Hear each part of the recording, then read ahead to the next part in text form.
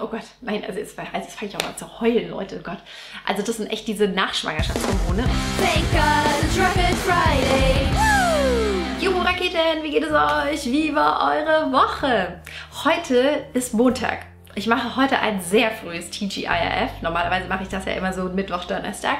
Ich bin aber diese Woche in Köln von Dienstagabend bis Donnerstagabend. Yay, ausschlafen. Ich arbeite dort und äh, deshalb kann ich eben kein TGIF jetzt äh, die Tage vorbereiten. Und damit das auf keinen Fall ausfällt und da nichts dazwischen kommt, mache ich das eben heute schon am Montag. Aber das ist auch gar nicht schlimm, weil ihr habt so unfassbar, unfassbar viele Sachen geschrieben. So viele schöne Sachen. Ich werde da gleich mal ein paar äh, Dinge vorlesen. Zuallererst, ähm, ich hatte euch ja auch gefragt hier von wegen äh, Location-Wahl jetzt für TGIF, weil ich ja hier auf meinem Bett sitze. Ein ganz kleiner Teil von euch fand es, glaube ich, nicht äh, so cool auf dem Bett, ähm, aber der große Teil fanden es äh, toll hier, weil äh, viele von euch immer sagen, naja, es ist ja so gemütlich irgendwie auf dem Bett und es ist so schön. Und viele finden auch, dass äh, ich das so schön eingerichtet habe. Dankeschön, Leute. Manche mögen das ja nicht. Manche mögen das nicht, wenn das äh, Schlafzimmer irgendwie zu weiß und zu steril und so. Aber ähm, ich finde das schön. Ich mag das. Ich mag gerade so diese Weiß-Gold-Kombi äh, sehr, sehr gerne. Also ähm, werde ich erstmal hier ein bisschen äh, noch auf dem Bett bleiben für TGIF. Allerdings ähm, werden sich auch Dinge wieder verändern in den nächsten Monaten. Also ähm, ja, es wird hier nicht das Bett bleiben, aber lasst euch einfach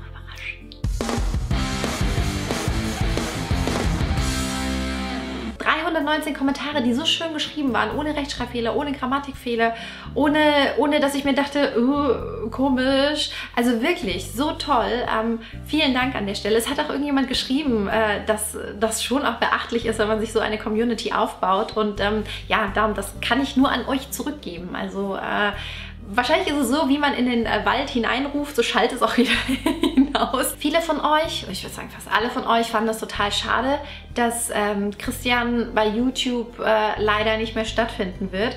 Ich glaube, ähm, was euch genauso ging wie uns, äh, war eben zu sehen, dass die ganzen Videos, die wir mit so viel Liebe produziert haben, dass wir die alle auf privat stellen mussten. Ähm, ganz viele von euch haben geschrieben, das Geburtsankündigungsvideo, ähm, was ja also wirklich mit das, das Schönste äh, war auf meinem äh, Kanal, finde ich, und wo Christian auch so viel Arbeit reingesteckt hat und wo auch wirklich noch, da war ja Nikolas schon auf der Welt, da waren wir noch im Krankenhaus, da ist er trotzdem noch zweimal nach Hause gefahren, um dann so den letzten Schliff zu machen und das hochzuladen, ähm, weil Nikolas ja früher gekommen ist als ursprünglich geplant. Ähm, also da steckt so viel da steckt so viel Liebe drin. Oh Gott, nein, also jetzt, also jetzt fange ich auch mal zu heulen, Leute. Oh Gott. Also das sind echt diese Nachschwangerschaftshormone. Also so schrecklich ist es jetzt auch nicht. Aber es ist halt einfach nur so, dass da einfach so viel Liebe drin steckt in diesem Video. Und gerade das tut einem dann halt schon irgendwie weh. Aber wie auch schon viele geschrieben haben, vielleicht ist es auch nicht für immer. Mein Gott, ähm, wer weiß, vielleicht ist es jetzt gerade mal eine Phase. Viele von euch haben auch geschrieben, wie sieht es denn mit Podcast aus oder kann Christian nicht hinter der Kamera irgendwie nur seine Stimme und ähm, das sind alles Sachen, wir gucken jetzt mal, wie sich das die nächsten Monate entwickelt. Das ist nichts, wo wir sagen können, genau so machen wir es jetzt, sondern ich glaube, das ist jetzt einfach so, so eine Entwicklung. Das Ganze muss jetzt einfach mal anfangen, seinen Gang gehen und äh, dann werden wir sehen, was wir denn auch daraus machen, was funktioniert und was vielleicht auch nicht. Was mich wirklich total gerührt hat, ähm, war wirklich, dass fast alle von euch auch geschrieben haben, wie zum Beispiel ähm, die liebe Sissy. Wie schade, aber okay, ich habe deinen Kanal wegen dir abonniert und dabei bleibt's auch. So, 64 Likes.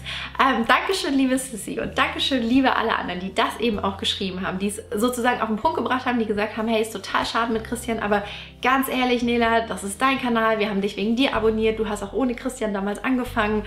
Viele haben auch gesagt, so hey, die eine Tür geht zu, die andere geht auf. Da äh, gibt es dann natürlich auch neue Entwicklungsmöglichkeiten, neue Ideen, äh, neue Videos, die man umsetzen kann. Und ähm, ich glaube, das war genau das, was ich irgendwie gebraucht habe letzte Woche. Ihr habt mir eigentlich das nochmal vor Augen gehalten, was ich auch gedacht habe. Und ähm, so möchte ich hier eigentlich auch weitermachen. Und äh, ja, da bin ich einfach total froh, dass äh, ihr da eben auch hinter dieser Idee steht und hinter mir steht und hinter dem Kanal steht. Also Dankeschön an der Stelle. Dann hat eine liebe Zuschauerin auch etwas geschrieben, was ich mir genau so gedacht habe. Das ist witzig, dass wir äh, genau die gleiche Idee jetzt auch die Tage hatten, nämlich die äh, Michelle. Michelle hat geschrieben, mir fällt gerade ein, dass das Kennenlernen-Video, welches ja aufwendig geplant werden sollte, wegfällt.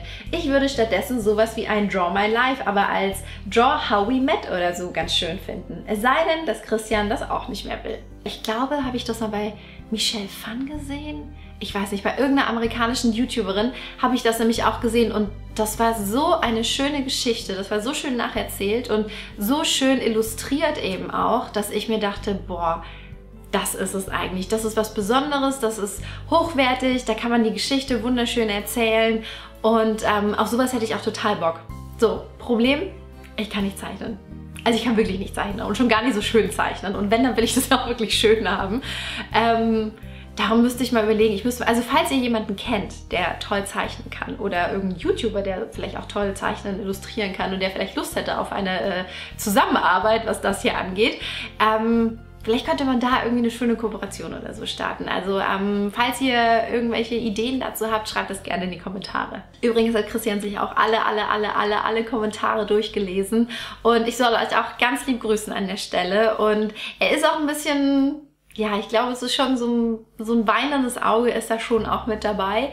Ähm, er war jetzt am Wochenende, ich meine, wenn ihr Christian immer wieder mal hören wollt, also das haben wir jetzt äh, für uns entschieden, das müsste gehen. Ähm, er wird immer wieder mal in der Insta-Story zu hören sein, weil das ja auch nichts ist, was ewig irgendwie aufrufbar ist. Ich meine, natürlich könnt ihr euch die Sachen abspeichern, aber wir glauben jetzt nicht, dass es so viele Verrückte da draußen gibt, die unbedingt äh, eine Story abspeichern müssen, wo Christian zu hören ist. Also ähm, haben wir da für uns entschieden, das äh, dürfte in Ordnung sein. Ja, und ich glaube, also für Christian, er hat sich das eben durchgelesen und er hat sich auch wahnsinnig gefreut und ich glaube, er war auch gleichzeitig wahnsinnig traurig. Ähm, und wir überlegen jetzt eben, wie wir diese ganzen Jobgeschichten vielleicht doch noch machen können. Vielleicht wirklich so, dass er irgendwie was aufschreibt, dass ich nochmal Fragen von euch einsammle, dass ich ähm, eben alleine dann ein Video dazu mache. Also wir wollen euch da auf jeden Fall äh, nicht hängen lassen und versuchen euch noch äh, was Schönes eben anzubieten. So, und dann kommen wir auch schon zum nächsten Thema, beziehungsweise ich habe es ja gerade erwähnt, mein Instagram-Account. Ihr habt auch unfassbar viel dazu geschrieben. Und es gibt eben eine Sache, die habe ich jetzt auch nochmal rausgekramt, äh, nämlich die Landesmedienanstalten. Die haben ja damals auch für YouTube so einen Leitfaden mal aufgestellt, ähm, wie man äh, Product Placements kennzeichnen soll, gesponserte Produkte kennzeichnen soll. Und äh, das mache ich ja eben auch schon seit Jahren, genauso wie es die Landesmedienanstalten eben vorschreiben. Und die haben jetzt dieses Blatt erweitert, sozusagen um äh, Instagram äh, etc. Und äh, das fand ich eigentlich ganz gut, weil ich mir immer gedacht habe, Mensch, genauso wie ich es bei YouTube mache, würde ich es eigentlich auch gerne bei Instagram machen, weil das für mich am meisten Sinn macht. Aber auch dazu habt ihr eben ganz klare Meinungen. Monika zum Beispiel schreibt, wenn ich merke, dass du etwas authentisch und von dir aus in die Kamera zeigst oder einfach nur benutzt, ist es mir ehrlich gesagt Schnuppe, ob du Geld bekommen hast oder nicht. Ich brauche diese Kennzeichnung nicht, schon gar nicht, wenn du selbst etwas gekauft hast. Natürlich ist alles irgendwie Werbung, aber ist es auch, wenn ich etwas einer Freundin empfehle. Also ich denke mal, alle, ja, ich glaube, es waren wirklich alle von euch, die geschrieben haben, ey, wenn du selbst Produkte gekauft hast, dann kennzeichne das nicht als Werbung, weil das ist ja wirklich, du hast Geld dafür ausgegeben, das ist deine Meinung, wir vertrauen dir da auch, dass du ehrlich bist und wir finden, das muss nicht gekennzeichnet werden. Und ähm, da bin ich echt froh, dass ihr das auch so seht. Ich meine, ich hatte ja im letzten Video gesagt, dass ich ja eigentlich schon dazu geneigt wäre, das zu sagen, dass das auch Werbung ist und dass man das eventuell auch kennzeichnen müsste. Ich weiß nicht wo ich das gelesen habe. Ich habe es eben auch gelesen, dass äh, darüber nachgedacht wird, eben auch solche Dinge zu kennzeichnen, die man selbst gekauft hat. Aber eigentlich bin ich froh, dass ihr alle geschrieben habt, dass es Nonsens wäre, das zu kennzeichnen, weil dann ist es ja wirklich, dann ist ja alles Werbung. Dann müsste ich jetzt die Bilder hier im Hintergrund, die Kissen, dann müsste ich mein Pullover, alles wonach ihr fragt, äh, müsste ich ja alles immer mit Werbung kennzeichnen. Und das ist Schwachsinn, glaube ich auch. Andererseits würdet ihr gerne wissen, wenn ich Sachen zugeschickt bekomme, die ich euch zeige, dass äh, ich das eben genau kennzeichne, von wegen wurde mir kostenlos zur Verfügung gestellt. Und ähm, dann wisst ihr eben auch Bescheid, ob ich dafür selbst Geld ausgegeben habe oder ob ich es halt einfach testen darf. Und das finde ich auch genau richtig so, denn so mache ich das bei YouTube ja auch, dass ich alle gesponserten Produkte ähm, ja auch immer kennzeichne in der Infobox. Und so finde ich das auch richtig bei Instagram. Ich werde euch einmal dieses Infoblatt der Landesmedienanstalten in der Infobox verlinken Dann könnt ihr da auch mal drauf gehen. Ihr könnt genau nachlesen, was die Landesmedienanstalten eben empfehlen. Anna schreibt, wo war denn die Wettervorhersage? Ja, liebe Anna und liebe alle anderen, die genau auch nach der Wettervorhersage gefragt haben, die habe ich im letzten TGIF vergessen.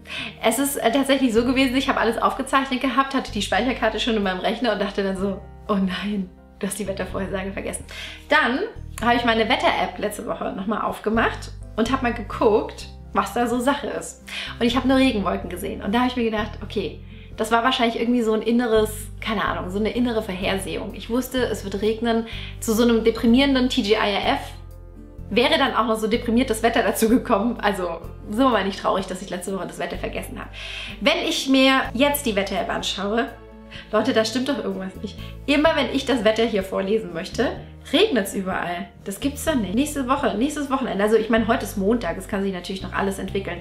Aber egal, ob ich jetzt Berlin, München, Frankfurt... Ach, guck an, in Tettnang. In Tettnang scheint die Sonne. Ach, in Köln scheint auch am Samstag die Sonne. Okay, Samstag scheint für Köln, Braunschweig, Tettnang ein ganz guter Tag zu sein. Aber Berlin, Dresden, Leute, es tut mir leid, Leipzig, das sieht alles nach Regen aus. Eider, Bibsch, Stuttgart auch Regen, Salzburg auch Regen, Wien auch Regen.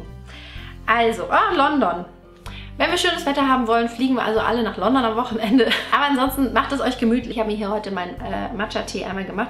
Letzte Woche hatte ich eine Tasse, da stand Hello Gorgeous drauf. Ähm, die war von H&M, habe ich mir selbst gekauft. Also muss ich das jetzt nicht als Werbung kennzeichnen. Ähm, weil viele auch gefragt haben, woher ich denn die schöne Tasse habe. H&M hat, H&M hat schöne Sachen gerade werden bestimmt auch wieder viele fragen, woher ich den Kuschelpulli habe. Da, äh, das wird nämlich auch ständig gefragt. Der ist auch von H&M. Ich habe gerade, oder letzte Woche und vorletzte Woche, H&M leer geshoppt. Ich habe hier für Nikolas ganz viele neue Klamotten gekauft. Ähm, die haben echt schöne Sachen gerade, wirklich. Manchmal finde ich die Sachen von H&M ganz schrecklich, ganz billig. Da habe ich das Gefühl, nach dem zweiten Waschen kann ich die Sachen direkt wieder wegschmeißen. Ähm, aber das hier scheint es irgendwie gerade gut zu sein. Ich habe mir auch hier Unterwäsche gekauft, kann ich jetzt hier nicht so zeigen. Aber ähm, auch so ein wunderschönen BH, passende, also alles passend und so, ähm, mit so ein bisschen Spitze. Also ganz toll. Sieht ganz toll aus. Wenn ich damit nicht so plötzlich andere komische Zuschauer anziehen würde, würde ich es euch wirklich zeigen. Aber ähm, ja, guckt einfach mal bei H&M am Wochenende, wenn ihr Bock habt, so ein bisschen zu shoppen. Bei Regen ist es ja auch ganz schön. Online-Shopping, ne? Ist eine gute Sache. Dann wünsche ich euch ganz viel Spaß dabei. Ich freue mich, wenn wir uns im nächsten Video wiedersehen. Bis dann, ihr lieben Raketen. Tschüss.